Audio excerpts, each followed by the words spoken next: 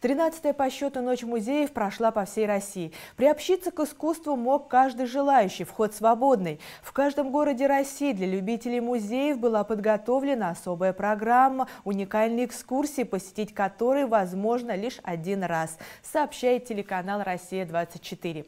В еврейском центре и музее толерантности десятки любителей искусства и культуры. Здесь сразу несколько авторских экскурсий. Одна из них посвящена еврейскому театру тому, как он развивался и что отличает его от других.